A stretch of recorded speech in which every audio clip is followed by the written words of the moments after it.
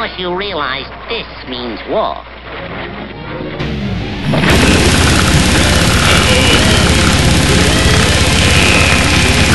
You know, my delicate inner sense of danger warns me that there's something faintly unhealthy in the atmosphere of this cottage.